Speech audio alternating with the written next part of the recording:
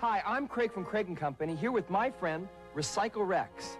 We're here to show you how to turn something old, wow, into something new. It's such an easy thing to do, and it begins with me and you. We can make a difference.